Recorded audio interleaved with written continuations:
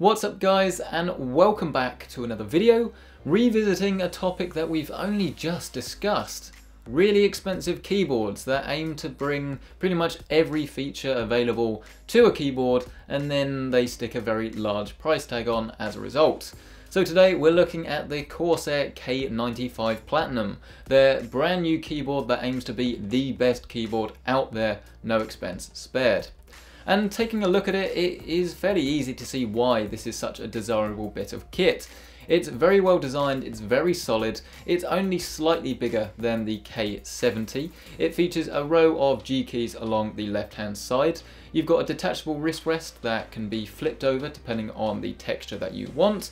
And then on the underside you'll find that we have a little cross that can be used to wire any sort of USB device underneath it. So this is going to be quite useful if you say have a USB headset.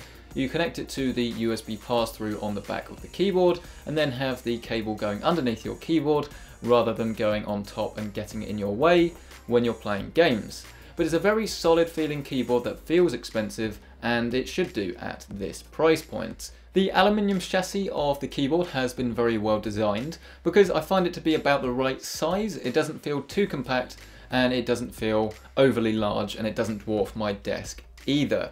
I say this because something like the ROG Claymore, which I do really like, goes for a more compact design. That does take a little bit longer to get used to, whereas I think more people will feel right at home if they use this for the first time, but it depends on your preference really, whether you want something that's compact or something that's got a larger amount of spacing between the keys and is arguably easier to type on, but again, you can just sort of get used to either anyway.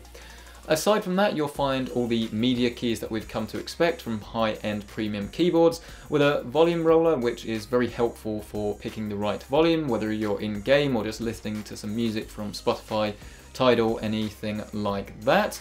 You've got play, pause, skip buttons as well, and then on the left hand side of the keyboard, you've also got a button that can cycle through different brightness settings for the RGB lighting. A few different profiles that you can cycle through, and the cool thing here is that now it's stored on the keyboard. Whereas before on the K70, it was really annoying because before you got into the Windows desktop and it loaded up the CUE software, you'd have to sort of use the default uh, lighting profile that was built into the K70. That's gone, so now you can always use the lighting. You can take this with you, and it doesn't matter whether your PC has CUE installed. As long as it's stored on the device, then it's going to be the same everywhere you go.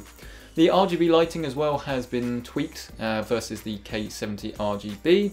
Now obviously we've got uh, RGB light bar at the top of the keyboard with a Corsair logo. This does help to add to a brighter, bolder RGB lighting system, and I have to say that we have got to the point now where this thing really does look great. If you're a fan of RGB lighting, then this is one of, if not the best keyboards out there in terms of RGB lighting. Yes, you can still set silly custom profiles that just look silly, um, but you can set it up to be something that actually does look a little bit more sensible and looks great, but as always, the CUE software is easy to use. It's been going for such a long time now that it is probably the best bit of software on the market. It's got a few quirks, some things um, don't hold, and I did have to reinstall the software a few months ago for one of my devices.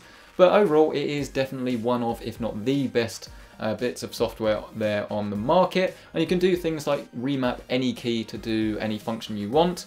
So for example I've used the G keys, one is a shortcut in DaVinci Resolve to quickly group uh, different clips together. One opens Tidal and then one opens the CUE software itself. But again, you can customize this to do whatever you want it to do, whether it's a macro, opening a program, uh, be a key, be a click, doesn't matter. You can set all of this within the CUE software. But in terms of the actual typing experience and the gaming experience, is this a keyboard that's actually worth your investment? The typing experience is one of the best um, you can get for a gaming keyboard. I say that, but obviously if you're someone that prefers a clicky switch with real tactile feedback, you're not going to find that here. I find I can type quicker on this switch, but I make a lot more mistakes than on something like the Cherry MX Browns. They're also not too loud compared with a blue or a brown switch. I recorded a couple of samples and here they are.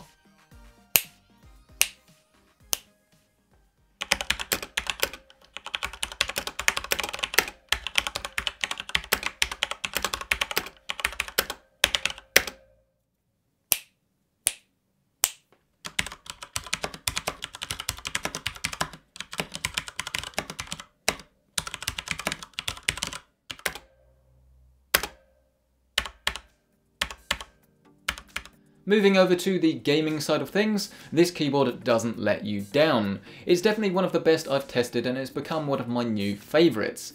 Obviously having the G switches there means that you can set additional in-game functions if you want to set up some quickfire macros or something like that, but it does come at the cost of being very close to the control and the shift keys, and I found that it was actually quite easy to accidentally press one of the G keys while I was meaning to press uh, either shift or control.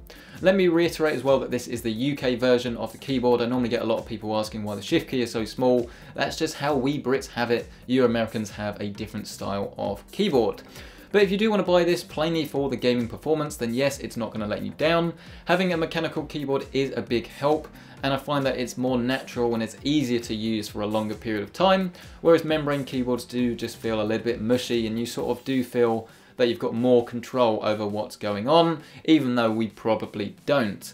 Having said that, if you want to get a more budget-friendly mechanical keyboard that is going to perform very similarly in-game, because this isn't going to suddenly uh, turn you into a magic Counter-Strike Go player, then consider looking at something for around about £80. I mean, the K65 is a 10 keyless keyboard, but that's going to feel very similar in terms of raw gaming performance, to a keyboard like this. So if you just want gaming performance, then you don't need to spend this much money. But there are a few other neat features as well about the K95. Other than the fact that the RGB lighting actually looks pretty damn awesome, you can sync it up to other CUE peripherals as well, and because Corsair have got such a large amount of them, it's very easy to get a nice set together. So for my testing, I used the K95 Platinum with a M65 Pro, and then the Corsair Polaris MMO mouse mat as well.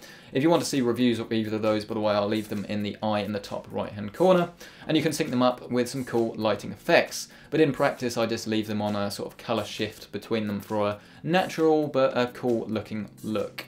And that pretty much covers my review of the K95 Platinum. There's not really that much to dislike about it other than two things. First one being that the uh, staging of the keyboard. So you've got two levels, you've either got flat or you can raise it up a little bit.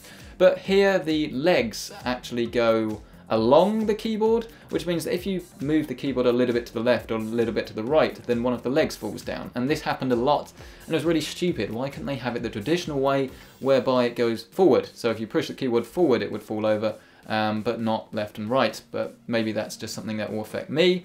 And then the other one, of course, is the price, which is not ridiculous. I mean, I would say it's fair in terms of um, what they're asking for, for what the competition has on offer but I wouldn't recommend that people go out and buy this unless they're really dead set on having all of these features because you do not need to spend this much money on a keyboard to get great in-game performance. Only buy this keyboard if you want something that looks as good as it does, you want the fully customizable RGB lighting, you want the G keys, and you just pretty much want the solid build and construction of the K95.